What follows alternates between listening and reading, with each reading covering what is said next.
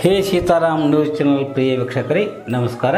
ನಾನು ಗೋಕಾಕ್ ಪರಿಸರದ ಜಾನಪದ ರಂಗಭೂಮಿ ಕಲಾವಿದ ಈಶ್ವರಚಂದ್ರ ಬೆಟಗೇರಿ. ನಾನು ಸಂಪಾದಿಸಿರುವಂಥ ಈ ಶ್ರೀಕೃಷ್ಣ ಪಾರ್ಯಾತ ರಂಗಪ್ರಯೋಗ ಅನ್ನುವಂಥ ಈ ಒಂದು ಸಂಪಾದನಾ ಕೃತಿಯನ್ನು ವಾಚನ ಮಾಡ್ತಾ ಬಂದಿದ್ದೀನಿ. ಈಗ ವಿಶೇಷವಾಗಿ ಹೊರವಂಜಿ ಕೀರ್ತನ ಭಕ್ತಿಯ ಕುರಿತು ಭಾಗವತ ಕೇಳಿದ ಪ್ರಶ್ನೆಗೆ ಉತ್ತರವನ್ನು ನೀಡ್ತಾ ಇದ್ದಾಳೆ. ಕೀರ್ತನ ಭಕ್ತಿ ಅಂದರೆ ಏನು ಅಂತಂದರೆ ವಿಷಯ ಭ್ರಮೆಗೊಳಗಾಗಿ ವಿನಯ ಮಾಡಲು ಬೇಡ. ಶಶಿವದನ್ನೇ ನೀ ವೇದಾಂತ ಸಾರವನೆ ಕೇಳು. ಹಸನಾಗಿ ನಿನ್ನೊಳಿಹ ಹಂಸನಿಂದಾದ ಮತಿ. ಪಸರಿಸುವ ಪ್ರಕೃತಿ ಗುಣ ಇಂದ್ರಿಯಗಳು. ಬೆಸನಾಗಿ ಒಂದೊಂದು ಅಸಮ ಸುಖ ಕಳಿಸಿ. ಮನಸ್ಸು ಸುಜ್ಞಾನ ಮಾರ್ಗ ಸಲ್ಲದಲ್ಲಿ, ಸಲದಲ್ಲಿ ನಿಶೀತ ಮರವಿಗೆ ಬಿದ್ದು ನಿಜವ ಕಳಿಯಲಿ ಬೇಡ. ಬಿಸಜಾಕ್ಷಿ ಬಿಂಕವ ಬಿಟ್ಟು ನೀ ಕೀರ್ತನ ಕೇಳಿ. ಅಂದರೆ ಏನುವ ಪಂಡ್ರಾಪುರ ಸಂತರು ನಮ್ಮ ಊರಾಗ ಕೀರ್ತನ ಅಂತೇಳಿ ವಿಠಲನ ಕತೆ ಹೇಳ್ತಾರಲ್ಲ, ಅದೇ ಏನಿದು ಹೌದು ತೇ ಅದು ಕೀರ್ತನ ವಿಶೇಷವಾಗಿ ಎಲ್ಲ ಊರುಗಳಲ್ಲಿ ಸಾಧು ಸಂತರು ಬಂದು ಮಾಡ್ತಾ ಇದ್ದಾರೆ. ಅಂದ್ರೆ ಹಿಂದಿನ ಪುರಾಣ ಪುಣ್ಯ ಕಥೆಗಳನ್ನು ಜನಮಾನಸಕ್ಕೆ ತಂದು ಜನರಲ್ಲಿರ್ತಕ್ಕಂಥ ಒಂದು ಶಾಂತಿ ಸದಾಕಾಲ ಇರಲಿ ಅನ್ನುವಂಥ ಉದ್ದೇಶದಿಂದ ಆ ಒಂದು ಚರಿತ್ರೆಯನ್ನು ಹೇಳ್ಕೋತ ಬಂದಿರ್ತಾರೆ. ವಿಶೇಷವಾಗಿ ಕೀರ್ತನ ಸಾಧು ಸಂತನ ಮಾಡುವುದರೊಂದಿಗೆ ನಾರದ ಮಹರ್ಷಿಗಳು ವಿಶೇಷವಾದಂಥ ಒಂದು ಕಾರ್ಯವನ್ನು ಮಾಡಿದ್ದಾರೆ. ಯಾಕಂತಂದರೆ ನಾರದ ಮಹರ್ಷಿಗಳು ಬ್ರಹ್ಮಣ ಮಾನಸ ಪುತ್ರರು. ಅವರು ಸದಾಕಾಲ ಹದಿನಾಲ್ಕು ಲೋಕಗಳನ್ನು ಸಂಚಾರ ಮಾಡ್ತಾ ಮಾಡ್ತಾ ಸದಾಕಾಲದಲ್ಲಿ ನಾರಾಯಣ ನಾಮಸ್ಮರಣೆ ಮಾಡ್ತಾ ಬಂದ ನಾರಾಯಣ ನಾರಾಯಣ ಅಂತೇಳಿ. ಯಾಕಂದರೆ ನಾರಾಯಣನ ನಾಮಸ್ಮರಣೆಯೊಳಗೆ ಅಂಥ ಒಂದು ಶಕ್ತಿ ತುಂಬಿದೆ. ಹಿಂಗೆ ಅಲ್ಲಿ ಹರಿಹರರಲ್ಲಿ ಭೇದವಿಲ್ಲ. ಆದರೂ ಕೂಡ ನರನಾರಾಯಣರನ್ನು ಆತ ಯಾವಾಗಲೂ ಸ್ತುತಿ ಮಾಡ್ತಾ, ಆತ ಆ ಭಗವಂತನ ಪವಾಡಗಳನ್ನು ಹೇಳ್ತಾ, ಸದಾಕಾಲ ಜನರನ್ನು ಉದ್ಧಾರ ಮಾಡ್ತಾ ಬಂದಾನೆ. ಹೀಗಾಗಿ ಕೀರ್ತನ ಭಕ್ತಿಗೆ ನಾರದರ ಹೆಸರು ಲೋಕದಲ್ಲಿ ಪ್ರಚಲಿತ ಇರುತ್ತೆ ಇನ್ನು ಮುಂದಿನ ಏನು ಅಂದರೆ ಅರ್ಚನ ಭಕ್ತಿ. ಅರ್ಚನ ಅಂದರೆ ಏನುವ ಗೊತ್ತಿಲ್ಲ. ನೋಡು, ಅರ್ಚನ ಭಕ್ತಿ ಅಂತಂದರೆ ಭಗವಂತನನ್ನು ನಾವು ಪೂಜೆ ಮಾಡೋದು ಹೇಗೆ? ನಂದನ ಕಂದ ಗೋವಿಂದಾರವಿಂದ್ಯಾಸ ಸಿಂಧುವಿನ ನಂದನೆಯ ಸುಂದರಕ್ಕೆ ಸಂದು ಮಣ ಹೊಂದಿ ಸುರಮಂದಿರದಿ ಚಂದವಾದೆಂದು ನಲುವಿಂದಲ ಎಂದು ವದನೆ ನೆಂದು ಕರದ್ವಂದದಲ್ಲಿ ವಂದಿಸುತ್ತ ಗಂಧ ಪೂರ್ವ ಅಂದ ವಾನಂದ ದೆಂದೊದಿಸಿ ಮುಕುಂದನೇ ನಿನ್ನಿಂದ ಭವಬಂಧನ ತಮಂದ ಪರಿವಂದ ನಿನ್ನಿಂದ ಮಾಡು ಎಂದು ಅರ್ಚಿಸುವುದೇ ಅರ್ಚನ ಅರ್ಚನ ಭಕ್ತಿ ಅಂತ ಹೇಳ್ತಾರೆ. ಅಂದರೆ ಭಗವಂತನನ್ನು ಹೆಂಗೆ ನಾವು ಪೂಜಾ ಮಾಡಬೇಕಂದ್ರೆ ಷೋಡಶೋಪಚಾರವಾಗಿ ಪೂಜಿಸುವುದು. ಅಂದರೆ ನಮ್ಮ ಮನಸ್ಸಿಗೆ ತೃಪ್ತಿ ಆಗುವ ಹಾಗೆ ಆತನಿಗೆ ನಾವು ಅಭಿಷೇಕ ಮಾಡುವುದು ಜಲೋದಕವನ್ನು ಮಾಡುವುದು, ಫಲಪುಷ್ಪಗಳಿಂದ ಅರ್ಚನೆ ಮಾಡುವುದು. ಅಷ್ಟೇ ಅಲ್ಲ, ನೀವು ಯಾವ ನಿಮ್ಮ ಮನಸ್ಸಿಗೆ ಏನು ತೋತದ ಯಾವ ರೀತಿ ಅಲಂಕಾರ ಮಾಡಬೇಕು ಅನ್ನುವಂಥ ಅಪೇಕ್ಷೆ ಆಗ್ತದೆ, ಆ ರೀತಿಯಲ್ಲಿ ಪರಮಾತ್ಮನನ್ನು ಪೂಜೆ ಮಾಡ್ತಾ ಅದರಲ್ಲಿ ಆನಂದವನ್ನು ಪಡೆಯೋದೇನದ ಇದಕ್ಕೆ ಅರ್ಚನ ಭಕ್ತಿ ಅಂತ ಹೇಳ್ತಾರೆ. ಈ ಅರ್ಚನ ಭಕ್ತಿಯನ್ನು ಯಾರು ಮಾಡ್ಯಾರೋ ಅಂದಿ? ನೋಡುತ್ತಿ ಎಷ್ಟೋ ಜನ ಮಾಡಿದ್ದಾರೆ.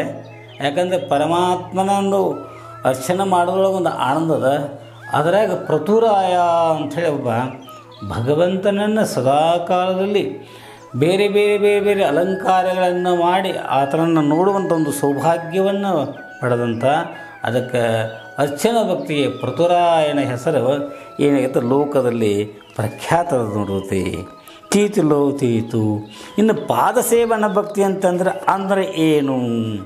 ಖರೀದಿರುತ್ತೆ ಪಾದಸೇವನ ಅಂತಂದರೆ ವೇದಗಳಿಗೆ ಆಧಾರನಾದ ಮಧುಸೂದನನ ವಿನೋದ ಘನ ಯಾದವನೇ ಮೇದಿನಿ ವಿರೋಧಿಗಳ ಛೇದಿಸಿದ ಗೋಧರಣೆ ನಾದಪ್ರಿಯ.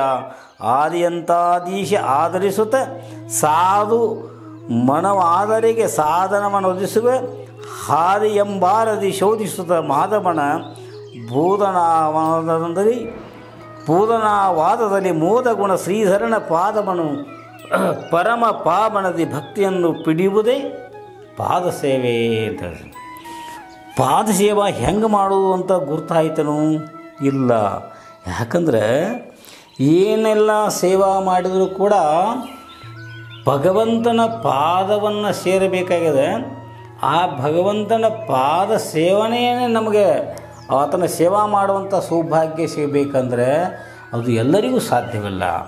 ಆ ಒಂದು ಒಂದು ಭಾಗ್ಯ ಯಾರಿಗೆ ಸಿಕ್ಕದ ಅಂತಂದರೆ ಮಹಾಲಕ್ಷ್ಮೀ ದೇವಿಗೆ ಸಿಕ್ಕದ.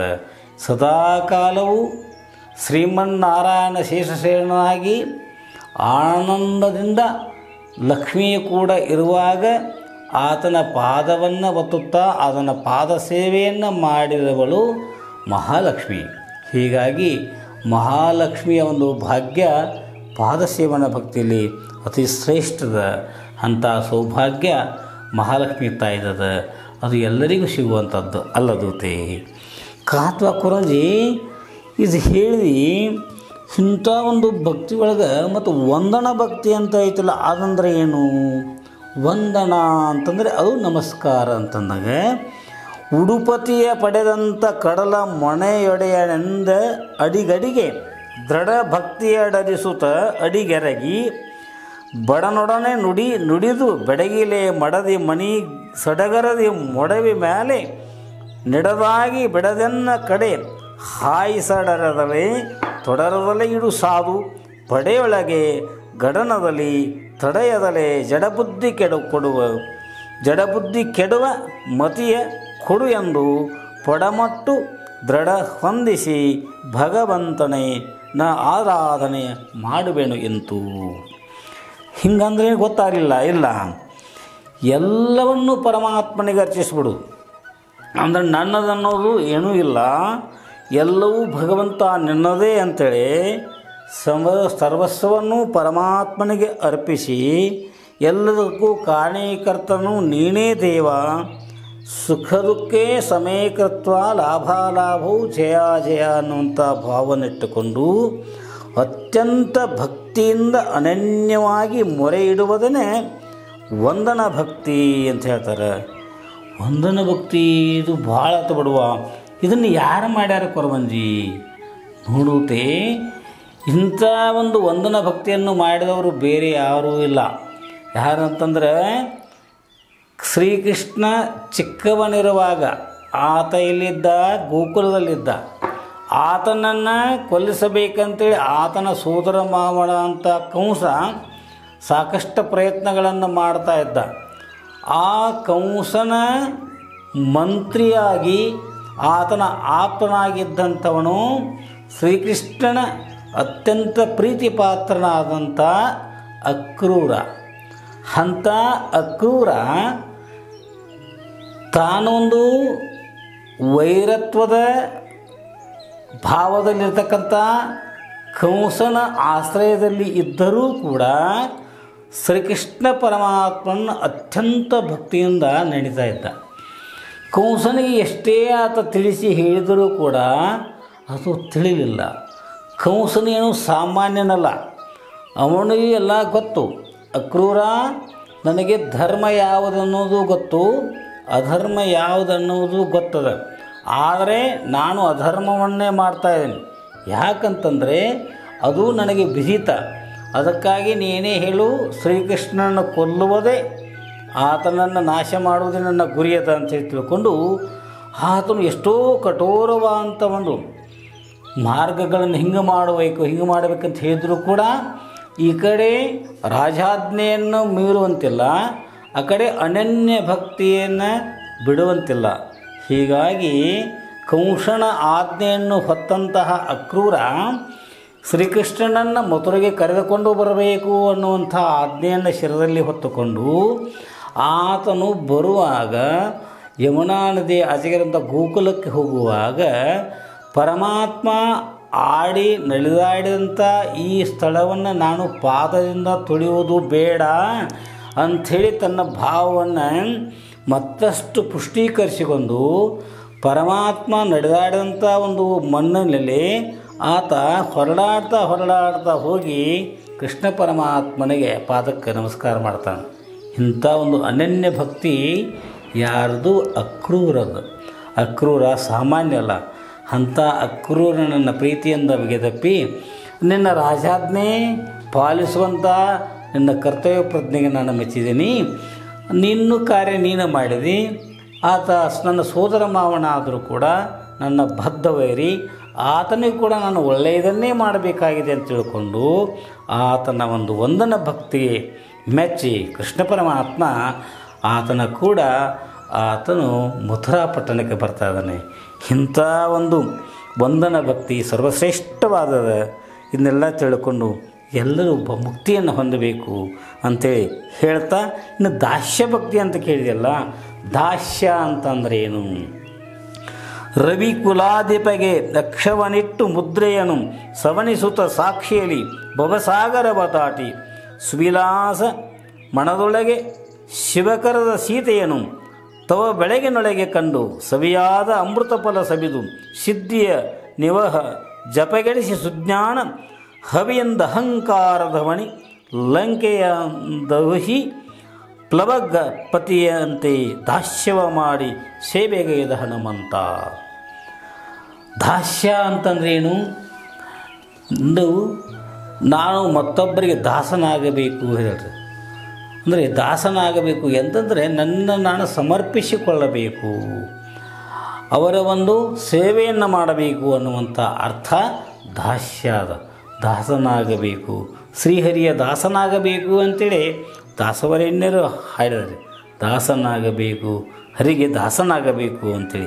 ಹಾಗೆ ದಾಸ್ಯ ಭಕ್ತಿಗೆ ಅತ್ಯಂತ ಶ್ರೇಷ್ಠವಾದಂಥ ಹೆಸರು ವೀರ ಆಂಜನೇಯ ಸ್ವಾಮಿಯದು ವೀರ ಆಂಜನೇಯ ಶ್ರೀರಾಮನ ಪರಮ ಭಕ್ತ. ಸುಗ್ರೀವನ ಸಖ್ಯವನ್ನು ಬೆಳೆಸುವಲ್ಲಿ, ರಾವಣನ ಒಂದು ಸಂಹಾರ ಕಾರ್ಯದಲ್ಲಿ, ಪ್ರತಿಯೊಂದು ಹಂತದಲ್ಲಿಯೂ ಕೂಡ ಶ್ರೀರಾಮ ಮರಳಿ ಅಯೋಧ್ಯೆಗೆ ತಿರುಗಿ ಸಿಂಹ ಬಂದು ಸಿಂಹಾಸನವನ್ನು ಏರುವ ಸಂದರ್ಭದಲ್ಲಿ ಆತ ತನ್ನನ್ನೇ ತಾನು ಭಗವಂತನಿಗೆ ಸಮರ್ಪಿಸಿಕೊಂಡು ಅತ್ಯಂತ ಮನೋಜ್ಞವಾದಂಥ ಒಂದು ಸೇವಾ ಕಾರ್ಯವನ್ನು ಮಾಡಿದ್ದಕ್ಕಾಗಿ ಶ್ರೀರಾಮ ಸಂಪ್ರೀತನಾದ ಹಾಗೆಯೇ ಆತನ ಧರ್ಮಪತ್ನಿಯ ಅಂತ ಸೀತಾಮಾತೆಯು ಕೂಡ ಪ್ರೀತಿಯಿಂದ ತನ್ನ ಕೊರಳಲ್ಲಿರ್ತಕ್ಕಂಥ ಒಂದು ಮುತ್ತಿನ ಹಾರವನ್ನು, ಕಂಠಹಾರವನ್ನು ಹನುಮಂತನಿಗೆ ನೀಡಿದಾಗ ಹನುಮಂತ ಅದನ್ನು ಭಕ್ತಿಯಿಂದ ಸ್ವೀಕಾರ ಮಾಡಿ ಒಂದೊಂದರನ್ನು ಆ ಮುತ್ತನ್ನು ಕಡಿದು ನೋಡಿ ಚೆಲ್ತಾ ಇದ್ದ. ಚೆಲ್ಲಿದಾಗ ಸೀತಾಮಾತೆ, ಇದೇನು ಹನುಮಂತ? ನಾನು ನೀನು ಮಾಡುವಂಥ ಒಂದು ದಾಸ್ಯ ಭಕ್ತಿಗೆ ಮೆಚ್ಚಿ ನನ್ನ ಪ್ರೀತಿಯ ದ್ಯೋತಕವಾಗಿ ಕಂಠಹಾರವನ್ನು ನಿನಗೆ ಕೊಡ್ತಾ ಇದ್ದರೆ ಅದು ನೀನು ಮುತ್ತುಗಳನ್ನು ಒಡೆದು ಚೂರು ಚೂರು ಮಾಡ್ತಾ ಇದೆಯಲ್ಲ ಕಡಿದು ಯಾಕೆ ಅಂತ ಕೇಳಿದಾಗ, ಅಮ್ಮ ನನಗೆ ನೀನು ಕೊಟ್ಟಂಥ ಈ ಹಾರ ಅಮೂಲ್ಯವಾದರೂ, ಅಷ್ಟೇ ಪ್ರೀತಿ ಪಾತ್ರವಾದರೂ ಕೂಡ ಇದರಲ್ಲಿ ನೀವು ಅದರೇನು ಅಂತೇಳಿ ನೋಡ್ಕೊಂಡು ಒಂದೊಂದು ಮುತ್ತಿನಲ್ಲಿ ನೋಡ್ತಾ ಇದ್ದೀನಮ್ಮ. ಆದರೆ ಎಲ್ಲಿಯೂ ನೀವು ಕಾಣ್ತಾ ಇಲ್ಲ ಅಂದ ಕ್ಷಣ ಅಲ್ಲ, ಹೀಗೆ ಯಾಕೆ ಮಾಡ್ತೀವಿ ಹಾಗಾದ್ರೆ ನಾವು ಎಲ್ಲಿದ್ದೀವಿ ಅಂದ ಕ್ಷಣ ಆಗ ತನ್ನ ಎದೆಯನ್ನೇ ಹರಿದು ತೋರಿಸ್ತಾನೆ. ಅಲ್ಲಿ ಸೀತಾರಾಮರು ಶ್ರೀ ವೀರಾಂಜೇನ ಒಂದು ಹೃದಯದಲ್ಲಿ ಆತನ ಒಂದು ಹೃದಯ ಗದ್ದುಗೆಯಲ್ಲಿ ಅದು ಕಾಣುವುದನ್ನು ಕಂಡಾಕ್ಷಣ ಸೀತಾಮಾತೆ ಹನುಮಂತನ ಒಂದು ದಾಸ್ಯ ಭಕ್ತಿಗೆ ಮೆಚ್ಚುತ್ತಾಳೆ.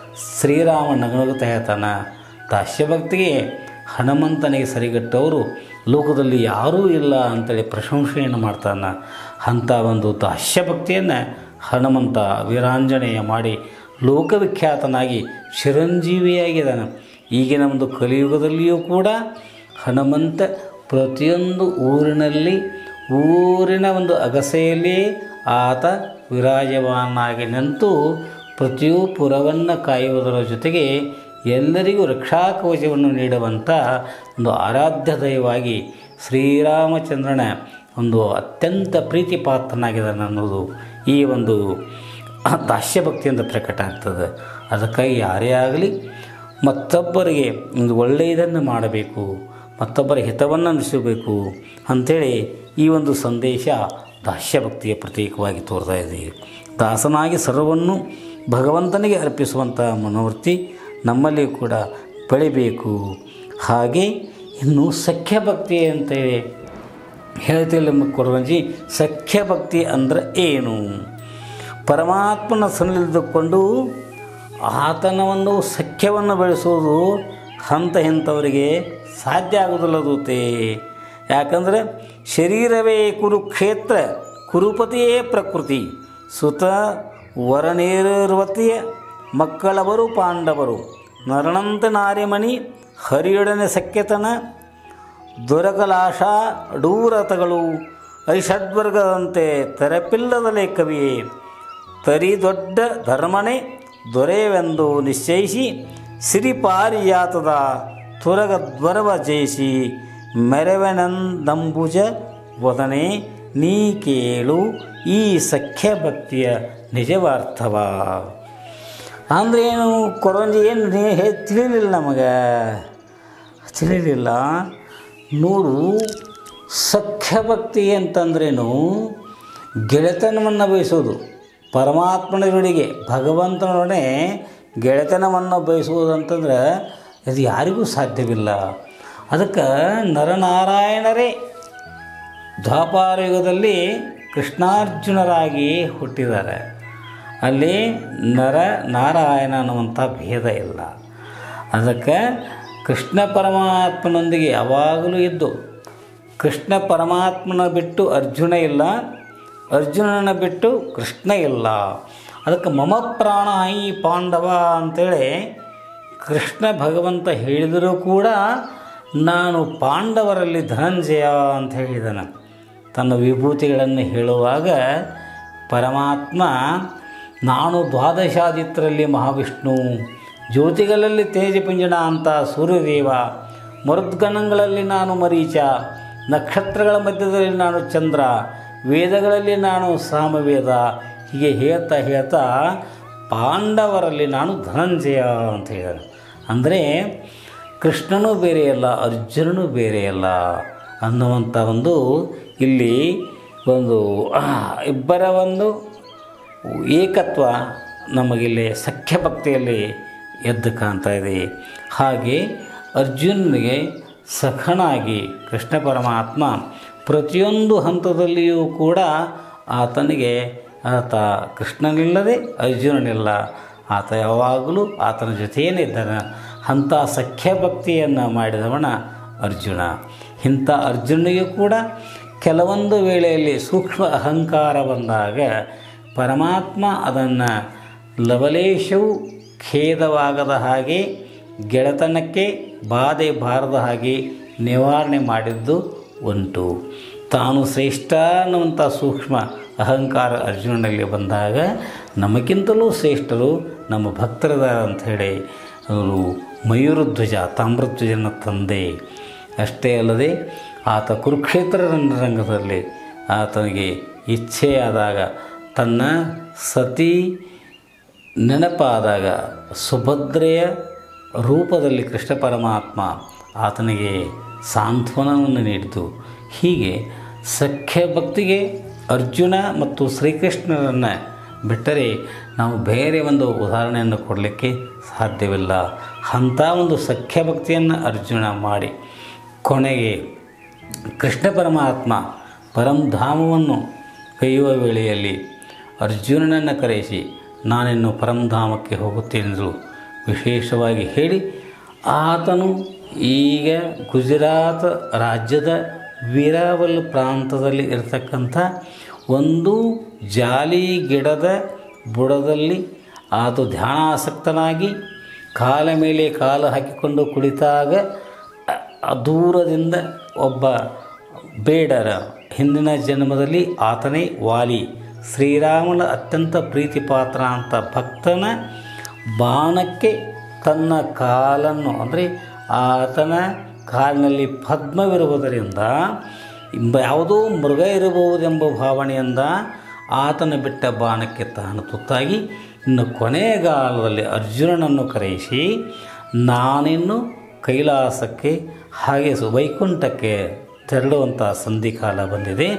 ನೀವು ಕೂಡ ಪಾಂಡವರು, ನಿಮ್ಮ ಕರ್ಮಗತಿಗೆ ಅನುಗುಣವಾಗಿ ನೀವು ಕೂಡ ಇಲ್ಲಿಂದ ಪರಂಧಾಮವನ್ನು ಗೈಬೇಕು ಅಂತ ಸಂದೇಶವನ್ನು ನೀಡಿ ಕೊನೆಗೆ ಅರ್ಜುನನಿಂದ ಬೇಡಿಕೊಂಡು ಅರ್ಜುನನಿಗೆ ಸಂದೇಶ, ಶುಭ ಸಂದೇಶವನ್ನು ಕೊಟ್ಟು ಆತನಿಗೆ ಪರಂಧಾಮಕ್ಕೆ ಬರಲಿಕ್ಕೆ ತಿಳಿಸಿ ಆತನ ಸಖ್ಯ ಭಕ್ತಿಯ ಒಂದು ಪರಾಕಾಷ್ಠೆಯನ್ನು ಮೆರೆದದ್ದು ನಾವು ಕಾಣುತ್ತೇವೆ. ಇಂಥ ಅರ್ಜುನ ಹಾಗೂ ಕೃಷ್ಣರ ಒಂದು ಸಖ್ಯ ಭಕ್ತಿ ಲೋಕದಲ್ಲಿ ಪ್ರಖ್ಯಾತವಾಗಿದೆ. ಅದಕ್ಕಾಗಿ ಶರೀರವೇ ಕುರುಕ್ಷೇತ್ರ ಕುರುಪತಿಯೇ ಪ್ರಕೃತಿ, ಸುತರ, ನಿರ್ವತಿಯ ಮಕ್ಕಳವರು ಪಾಂಡವರು. ಮರಣಂತೆ ನಾರಿಮನಿ ಹರಿಯೊಡನೆ ಸಖ್ಯತನ ಎಂದು ಬಣ್ಣಿಸಿದ್ದಾರೆ. ಹಾಗೆ ತೀತಲು ತೀತ್ ಬಿಡು ಕೊರಂಜಿ ಇನ್ನು ಇದು ಸಖ್ಯ ಭಕ್ತಿ ಅಥವಾ ಇನ್ನು ಉಳಿತ ಭಕ್ತಿ ಎಂಟು ಆದಂಗೆ ಅದು ಇವ. ಮುಂದೆ ಇದರಲ್ಲಿ ಮತ್ತೆ ಇನ್ಯಾವ ಭಕ್ತಿ ಉಳಿಯಿತು? ಖರೇದತೆ ಈಗ ನಾನು ಹೇಳಿದ್ದು ಎಂಟ ಭಕ್ತಿ. ಶ್ರವಣ, ಸ್ಮರಣ, ಕೀರ್ತನ ಅರ್ಚನ, ಪಾದಸೇವನ, ದಾಸ್ಯ, ಸಖ್ಯ, ವಂದನ ಅಂಥೇಳಿ ನಾನು ನನಗೆ ಈಗ ಎಂಟು ಭಕ್ತಿಗಳನ್ನು ಹೇಳಿದ್ದೀನಿ. ಇದು ಕರೆಯೋದು. ಇನ್ನು ಒಂಬತ್ತನೇ ಭಕ್ತಿ ಯಾವುದಂತಂದ್ರೆ ಇವು ಎಲ್ಲರಿಗಿಂತ ಸರ್ವಶ್ರೇಷ್ಠವಾದಂಥ ಒಂದು ಭಕ್ತಿ. ಅದ್ಯಾವುದು ಕೊರವಂಜಿ? ಅದಕ್ಕೆ ಆತ್ಮನಿವೇದನ ಅಂತಾರೆ. ಆತ್ಮನಿವೇದನ ಅಂದರೆ ಏನು? ಆತ್ಮನಿವೇದನೆಯಿಂದ ಏನು ಸಾಧ್ಯ ಆಗ್ತದೆ? ಅಂಥ ಒಂದು ಭಕ್ತಿಯನ್ನು ಮಾಡಿದವರು ಯಾರು? ಅದನ್ನು ತಿಳಿಯುವಂಥ ಅಪೇಕ್ಷಾ ನಿನ್ನಲ್ಲಿ ಅದ. ನನಗೆ ಗೊತ್ತಾಗ್ಯದ. ಆದರೆ ಅದನ್ನು ನನಗೆ ವಿವರವಾಗಿ ತಿಳಿಸಿ ಹೇಳ್ತೀನಿ. ಕೇಳಮ್ಮ, ನಿಮಗೆ ಶುಭವಾಗಲಿ.